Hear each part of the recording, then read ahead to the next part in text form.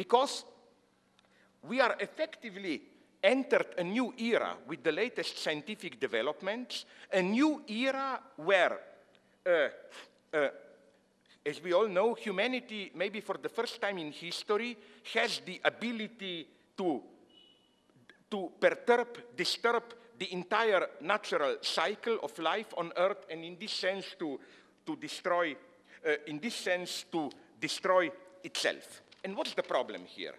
A lot could be said about how ideology is crucial. Sorry? Yeah. No, what I want to say is that look, the Copenhagen talks, which, as we know, failed. I think uh, a Copenhagen talk in, in December about uh, uh, how to face ecological threat. Compare Copenhagen talks to reaction to financial crisis one year ago. Although we know it's our survival at stake, in Copenhagen they were dealing, negotiating, we have time, not 50, 40 billion dollars and so on. You remember how when the financial crisis broke out, in one week they found first 750, then more and so on and so on.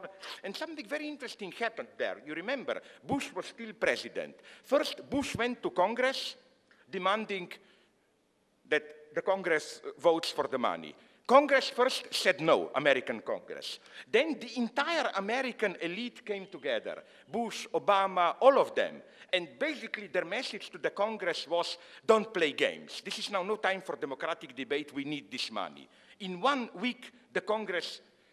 So, this is a big lesson of how capitalism functions. We can, we can debate about everything ecology, hunger, age, and so on when it comes to financial capital, money, there is no joke. You simply have to do it there.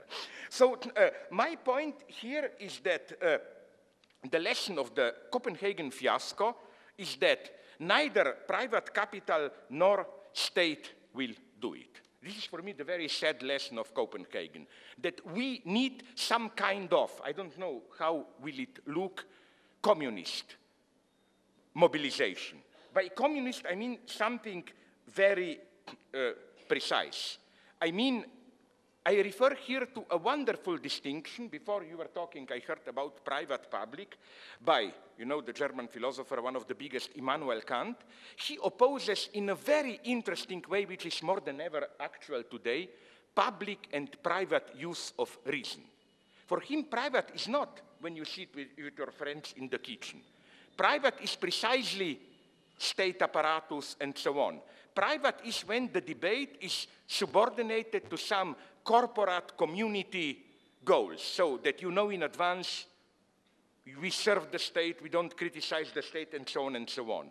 For Kant, public use of reason is a more radical, universal one, where you are no longer bound by narrow. So we need that kind of a public use of reason, which means that, uh, which uh, means that another thing, that there is tremendous lot of work to be done here. Ecology is a problem, but as you, especially in India, must know, it's also one of the main fields of ideological struggle, of ideological investment today. It is used to punish you countries in development, like uh, don't develop and so on. It is used as a source of new obscurantist ideologies and so on and so on. And my solution here, again to provoke you, is a radical one.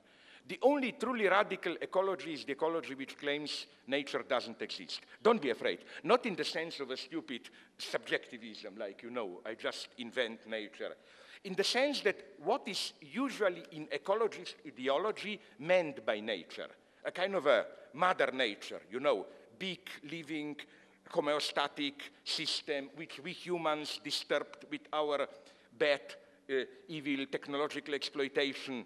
Nature is crazy in herself. If it's a mother, it's a pretty crazy mother.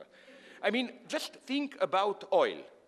Are we even able to imagine what kind of a mega catastrophe ecological must have happened for us to have oil, reserves of oil?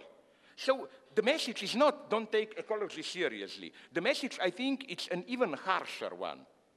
Uh, there is no natural balance to which we can return. It's an open, risky process. So first, ecology. Second field where I see insoluble problems, the inappropriateness of the institution of private property for the so-called intellectual labor. As you probably know, the, these new digital industries and so now fight again and again with the problem how to keep the results of intellectual work in the form of private property. If there is one good thing about intellectual work, which produces knowledge, expertise, is that in contrast to material products, it multiplies by use. If I have a car and you buy it from me, if we both use the car, it gets used faster. If I produce or you a piece of knowledge, the more we use it, the richer it becomes. It's, the logic is already in itself much more uh, communist. So what I'm saying is that this is why more and more today we are dealing with state regulation and so on and so on, with all these absurd consequences where you also in India were victims. Wasn't there a case, everyone was shocked, when uh, a method for healing or whatever used for hundreds of years by your farmers was patentized in the United States, and all of a sudden, your farmers learned that they had to pay for what they were doing for hundreds of years, and so on and so on. So, again, I claim that uh, intellectual, so called intellectual property, it will get more and more crazy. If we leave free path to eat. We will live in a totally crazy situation where even our thoughts and so on will be owned by others. The third domain, don't underestimate it, is are the socio-ethical implications of the new techno-scientific developments, biogenetics and so on and so on. It's interesting to know that Fukuyama himself, who is not a total idiot, admitted, I met him at some debate recently, that the very fact of biogenetics changes his diagnostic. Now he admits.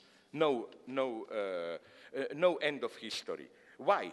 Because uh, something is so radical is potentially happening, which I think will change maybe even our very elementary definition of what it is to be human. I refer here not only to the fact that in predictable future, it will be already possible to, through genetic manipulations, change not only our physical properties of newborn children or even adults, but especially psychological properties and attitudes. For example, my friends in China gave me, gave me a kind of a big plan of Chinese Academy of Sciences for, they are pretty open there. They claim that their goal is, to cut a long story short, to control the entire Chinese population, its physical and mental health. You know, like to genetically, in the long term, reduce aggressivity if needed or whatever.